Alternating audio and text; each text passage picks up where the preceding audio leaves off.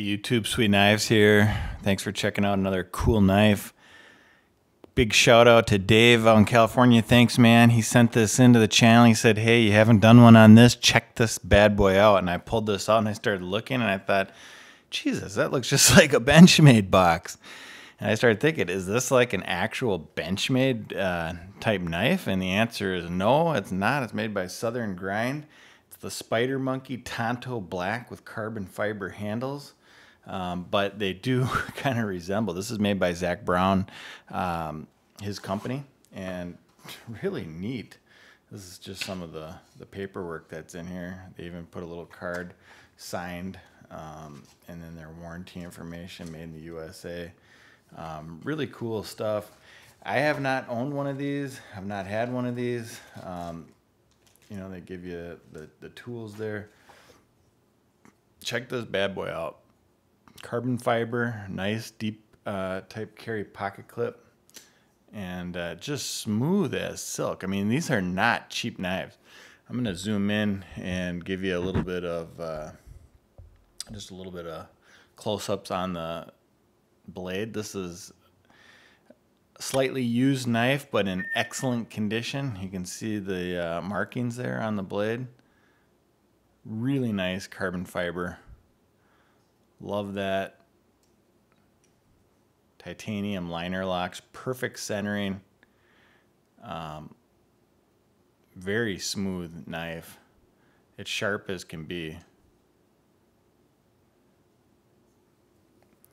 And I've been playing around with this one for a little while and I got to tell you I really like this knife. This is fits good in the hand. It's not a huge knife by any by any stretch, um, but it just feels good. Just feels really good in the hand. Um, it's smooth. It's got the, you can open it whether you're left-handed or right-handed. I'll give you a little bit of close-ups on this side so you can see. S35VN, that's the blade steel. Really good quality, high quality stainless steel that's going to hold up well over time. You won't have to worry about any of that. Um, very neat pins. That's what this tool's for. Allows you to open, um, allows you to open that. Give you an up close look. It's kind of, kind of hard to see that. See how it's got that two, two, two pins? You need that. You need that to be able to open those up. A little bit of unique uniqueness there on the, the hardware. But I think that's kind of cool. So I just want to give you guys a look. This is really neat. Southern Grind um, knife. I, I thought it was actually a Benchmade at first. I was surprised at first. I'm like, I don't know what the hell this is. But I'm I'm pleasantly surprised. really nice, high quality knife. This is one I would definitely buy. So if you guys are looking for kind of new knives to add to your collection, this is definitely a, a collector piece.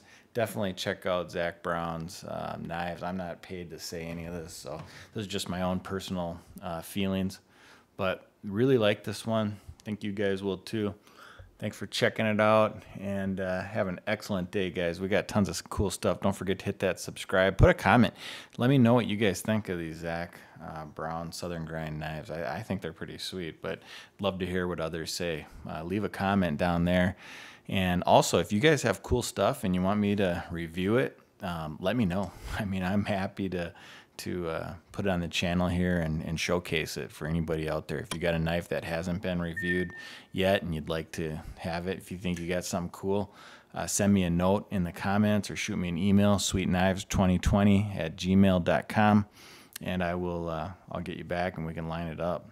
So, all right, that's it for now. Have a great day. Bye.